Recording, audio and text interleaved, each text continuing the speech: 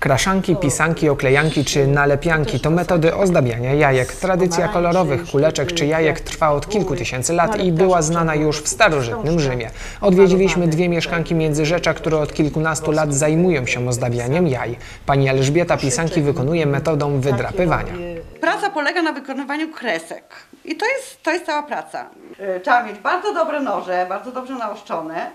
No i, i, i trochę wprawy, bo, bo właściwie no nic więcej nie ma. Jeżeli jest w oczach kompozycja, no to po prostu ona wychodzi praktycznie sama. Już nie, nie ma jakiejś tam jest to, no trzeba uważać, nacisk musi być no, tak jak powinien, bo jeżeli nacis, naciśnie się za mocno, no to to jajko może pęknąć i wtedy jest problem. Przy ozdabianiu trzeba wykazać się kreatywnością. Jakie wizerunki na pisankach e, pani wykonuje? Y, To są wzory moje własne. Nie jestem malarką, bo jeżeli ktoś ma uzdolnienia typowo malarskie, artystyczne, na przykład jest po szkole plastycznej, to, mo, to może się pokusić o jakiś tam wzór y, kościoła, jakiegoś wizerunku. Y, Ja robię bardziej opolskie wzory, chociaż to są moje własne, ale wzorowane na opolskich pisankach.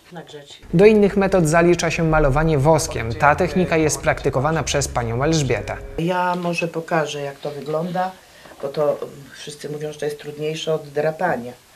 Ja uważam, że nie. Jajko trzeba trzymać tak i, i dwoma palcami je obracać, kciukiem i ostatnim malutkim. Wosk musi być w szczeli, bo on się ciągnie. Ja nie umiem lejkiem robić, tak jak robią, to raczej było z, z kresów, tam z, od Ukrainy. Y, Mama mnie nauczyła szpilką i igłą i tym robię.